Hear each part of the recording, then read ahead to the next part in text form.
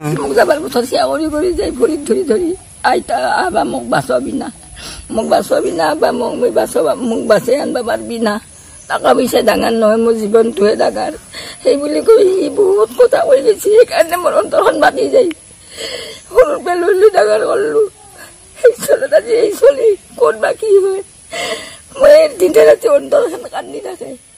কান্দতে কান্দতে মই ভাতে ৰান্ধবা পাৰি যাম। হাত লাগিল দৰ্জা বান্ধবা পাৰি যাম। এনেকে দুখত আছো একতা দিন। সমস্যা সকলোৰে জীৱনত আহে দুখ সকলোৰে জীৱনত আহে। কিন্তু কাল অমানিশা কিছু কিছু সংখ্যকৰ জীৱনতহে আহে। আৰু মই এনেকুৱা এটা পৰিয়ালত আছো আজি উপস্থিত যিটো পৰিয়ালত দুখ অহা নাই আৰু মই দুখৰ ধুমুহা অহা বুলিও নকওঁ। এই পৰিয়ালটোত যেন দুখৰ চুনামি আহিছে কাল অমানিশা বৰ্তমান এই পৰিয়ালটোত।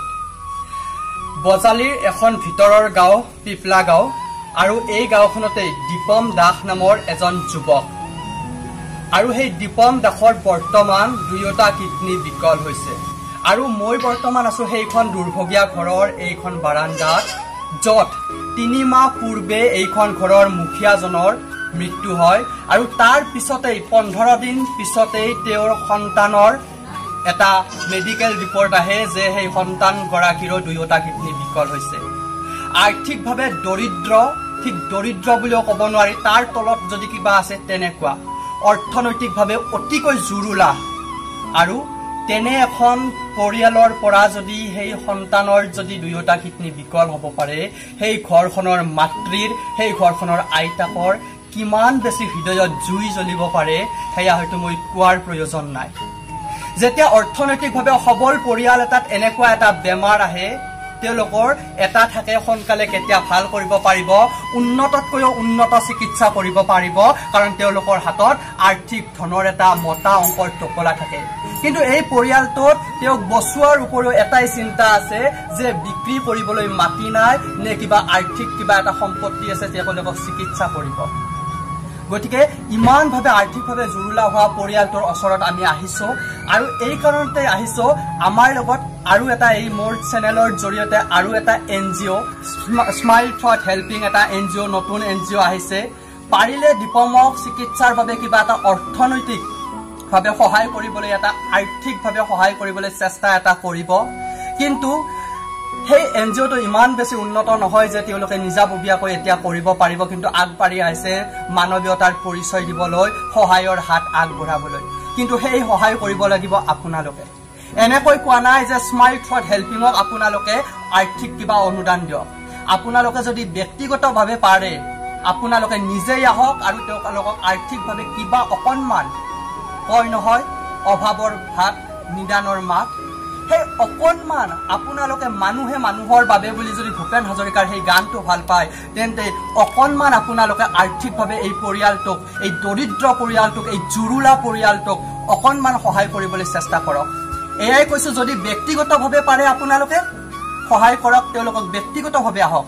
যদি আপোনালোকে ব্যক্তিগতভাৱে আহিব নিবিচাৰে হয়তো ব্যক্তিগতভাৱে আহিলে হয়তো সিমানখিনি আৰ্থিক অনুদান দিয়াৰ আপোনালোকৰ হয়তো বৰ্তমান সময়ত সকলোৰে আৰ্থিক টান দুৰৱস্থা।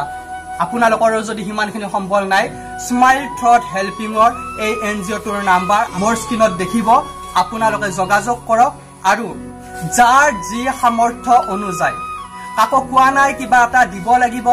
যাৰ যি সামৰ্থ্য সিমানখিনিয়ে দিয়ক আপোনালোকে। আৰু সেই স্মাইল থ্ৰট হেল্পিঙে অকণ অকণকৈ আপোনালোকৰ সহায় বিচাৰিছে। আৰু সেই আপোনালোকে যে অকণমান সহায়ৰ হাত বঢ়াব স্মাইল থ্ৰট হেল্পিঙে হয়তো তাক অকণমান সকলোকে গোট লগাই এটা ভাল আৰ্থিক অনুদান দিবলৈ চেষ্টা এটা কৰিব। আৰু এয়া কেৱল আপোনালোকৰ আৰ্তজনে কেৱল আপোনালোকক সেই আশীৰ্বাদ আপোনালোকৰ ওচৰত নাযাব। আপোনালোকে যিসকলে সহায় কৰে আপোনালোকক সদায় মনত ৰখা হ'ব আৰু আৰ্তজনক সহায় কৰি আপোনালোকে কি আশীৰ্বাদ পায় কি সুখ পায় সেয়া হয়তো মই কোৱাৰ প্ৰয়োজন নাই।